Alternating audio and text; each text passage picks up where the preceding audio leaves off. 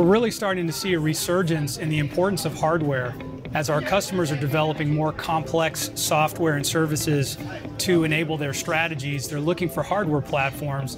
So I see the future of manufacturing very bright. I mean, when you look at robotics, uh, machine learning, AI, factories and the processes are going to be smarter, more efficient, more sustainable, more streamlined ultimately benefiting, benefiting our customers.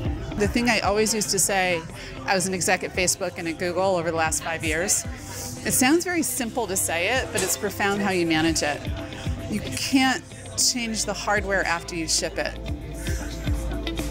And literally at Facebook, you could change two lines of code, ship it out to a million people, see how it did, and change it and ship it out to a billion. But the way you manage and develop it is quite different. And so Apple's really good at it here in Silicon Valley, Samsung's really good at it. But there's the software giants, I think, are trying to get good at hardware to be able to take advantage of the opportunity. The importance of hardware, we're seeing a resurgence in hardware, and I think a lot of that has to do with some of the new applications that are out there. Autonomous driving, Internet of Things, areas that are mission critical where we're going to need high reliability, high quality, and very secure hardware. And so as we see those types of applications, the importance of hardware and not just software is coming to the forefront. And when I think about the combination of hardware and software, I think if you think about the internet, we sort of got away with the web sort of hid all the hardware from us. It was hidden back in the cloud, it was away from us. We had this abstract sort of connection. First it was dial-up, then it was a broadband connection. IoT means I want to interact with that kind of data flow, the cloud, but with a thing that's physically close to me. So you can't avoid the hardware anymore. It's actually in your face. So I come from a world of, of, of only software. I was a Dropbox before, and I would see the world through like a screen. Now I'm in a world of hardware, such as a vehicle.